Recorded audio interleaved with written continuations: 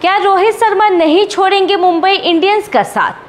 IPL 2025 का आयोजन अगले साल होना है, लेकिन उससे पहले मेगा ऑक्शन का सब बेसब्री से इंतज़ार कर रहे हैं। मेगा ऑक्शन में काफ़ी संख्या में खिलाड़ी शामिल होंगे। वहीं विशेष रूप से रोहित शर्मा ऑक्शन से पहले चर्चा का विषय बन रहे क्योंकि कयास लगाया जा रहा कि मुंबई इंडियंस उन्हें रिलीज़ कर सकती है।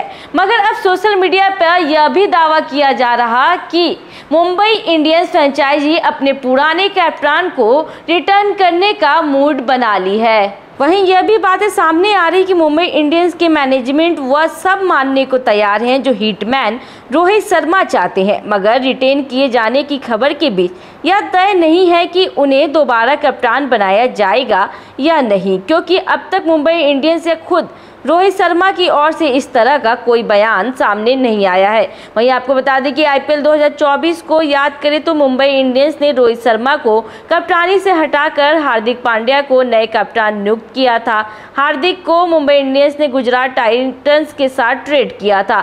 सीज़न के दौरान अफवाहें सामने आई कि रोहित शर्मा के मुंबई इंडियंस मैनेजमेंट और हार्दिक पांड्या के साथ संबंध अच्छे नहीं। वहीं हार्दिक की कप्तानी में भी मुंबई कुछ खास अच्छा प्रदर्शन नहीं कर पाई, जिसके कारण टीम अंक तालिका में आखिरी स्थान पर रही थी। वहीं आपको बता दें कि रविचंद्रन अश्विन ने हाल ही में रोहित शर्मा की मुंबई इंडियंस में बने रहने या टीम को छोड़ने पर बड़ा बयान दिया था। उनका कहना था कि बड़े खिलाड़ियों के करियर में एक ऐसा पड़ाव आता है, जब उनके लिए पैसा अधिक मायने नहीं रखता। वह केवल अच्छे वातावरण में क्रिकेट खेलने की चाह रखते हैं।